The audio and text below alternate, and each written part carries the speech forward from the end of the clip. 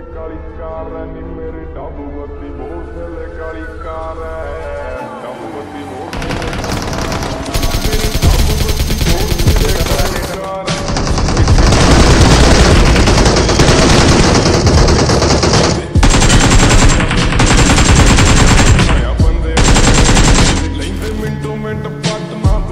ਬੱਲੀ ਕਿਹੜਾ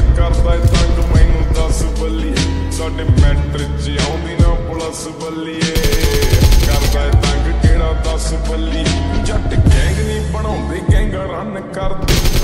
ਆਪਣੇ ਰੱਖਿਆ ਚੜਦੇ ਤੋਂ ਚੜਦੇ ਜਿੱਥੇ ਚੱਲਦੇ ਰਕਾਮੇ ਪੂਰੀ ਬੰਦੇ ਜਿਗਰੇ ਵਾਲੇ ਆ, ਸਾਡੇ ਨਾਲ ਖੜਦੇ ਨਹੀਂ ਤਿੰਨ ਢਾਲਦੇ। ਹੋ ਜੇ ਸ਼ੁਰੂ ਤਿੰਨ ਬੱਲੀ, ਕਿੰਨੇ ਟੱਕ ਨੇ ਪਿੰਡੇ ਤੇ